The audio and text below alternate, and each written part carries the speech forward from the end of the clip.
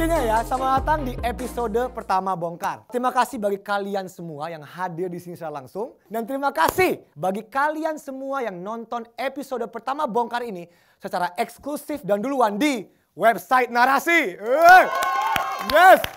Oke, bagus ya. Oke. Dan setelah beberapa hari, episode pertama Bongkar ini bisa diakses di YouTube Narasi. Nah, gue tahu nih, bagi yang nonton YouTube, gue tahu kalian bakal ngomong apa. Bang, katanya udah quit YouTube. Bang, kok balik YouTube lagi bang? Kok sekarang kurusan sih Kajo?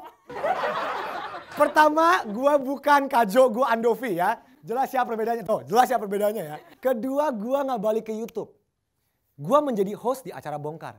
Yang kebetulan beberapa episode akan tayang cuplikannya di YouTube. Apa itu Bongkar? Bongkar adalah sebuah acara talk show dari narasi yang akan membongkar berbagai topik yang sering dianggap tabu untuk dibicarakan di masyarakat dan di media sosial. Kalian pasti lagi mikir, ah ini mah ngikut-ngikut Patriot Act-nya Hasan Minaj. Atau ah ini mah ngikut-ngikut Last Week Tonight-nya John Oliver. Guys, guys, guys. Iya. Oke, iya. Iya, oke. Gua nggak bisa bohong. Kalau acara ini emang terinspirasi dari mereka berdua. Gua akuin itu, gua akuin dengan sangat bangga. Nggak ada salahnya mendapat inspirasi dari orang lain dan mengambil itu sebagai semangat untuk membuat sesuatu. Dan gua berharap impact dari acara bongkar ini bisa mendekati dari apa yang mereka berdua lakukan. Jadi untuk Bang John, Bang Hasan, please jangan gugat acara ini.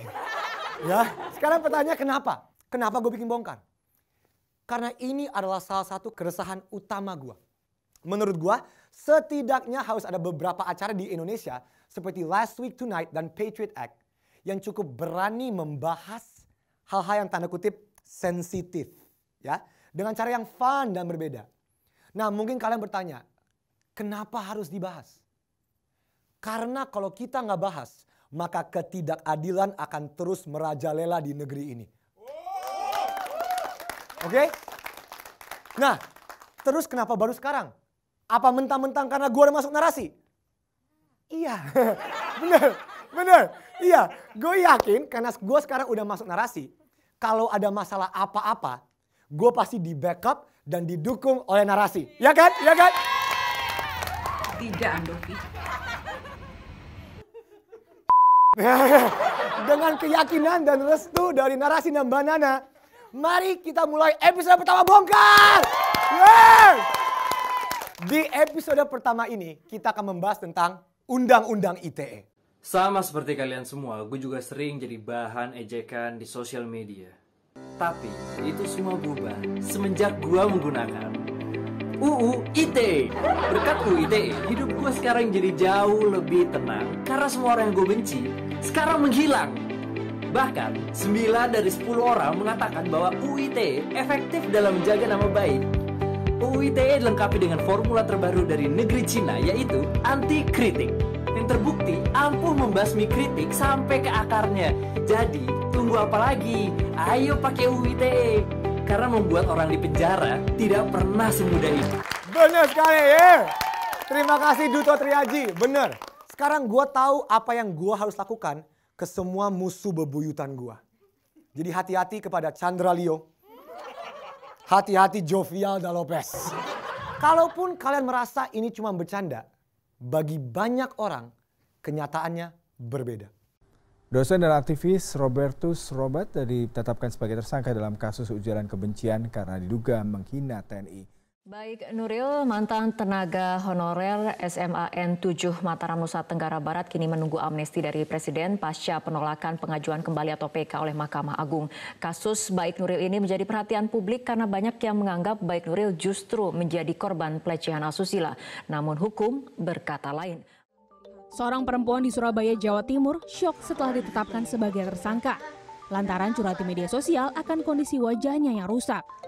Perempuan bernama Stella Monica Hendrawan ini tidak menyangka klinik kecantikan tempatnya menjalani perawatan menuduhnya mencemarkan nama baik klinik tersebut.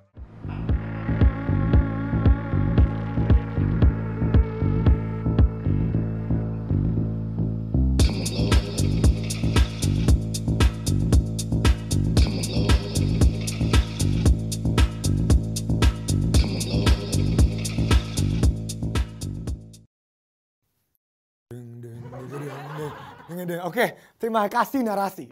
Dari sini kita tahu kalau pemilihan musik dalam video itu sangat penting ya. Ya, ya terima kasih ya narasi ya. ya. Oke, tapi itu hanya beberapa contoh saja. Dan itu pun hanya kasus-kasus yang masuk dalam berita. Pada kenyataannya, dari tahun 2016 sampai Februari 2020, untuk kasus-kasus dengan pasal 27, 28, dan 29 Undang-Undang ITE, ada 744 perkara dengan tingkat pemenjaraan yang sangat tinggi mencapai 88 persen. Dan berikut ini adalah data yang menurut gua paling Udah siap? Dari jumlah aduan yang diterima oleh SafeNet, profesi yang dilaporkan adalah 56% persen mereka yang berstatus sebagai warga biasa dan 37,5% persen adalah kelompok kritis. Kalau kalian pikir kalian nggak akan kena, Coba pikir lagi. Dari ibu rumah tangga, konsumen, buruh, jurnalis, aktivis, akademisi, seniman, sastrawan, semua bergiliran jadi korban undang-undang ITE. Siapa profesi yang melaporkan? Yang melaporkan 68% adalah orang yang memiliki kekuasaan. Dan ini adalah data yang paling Ini adalah masalah utama dari undang-undang ITE. Mereka yang berkuasa lebih sering menggunakan undang-undang ITE untuk memenjarakan orang-orang yang tidak berkuasa. Nggak usah jauh-jauh. Gua Andovida Lopez. Gue takut. Acara bongkar ini, ini bisa kena nih. Kita semua nggak mau dong next episode syutingnya di Lapas Suka Miskin. Yang nonton para napi. Gue syuting pakai rompi oren. Angle kamera kalang jeruji kayak gini nih kan. Nggak, nggak lucu dong. Bisa jadi ini episode pertama dan episode terakhir. Oke. Okay?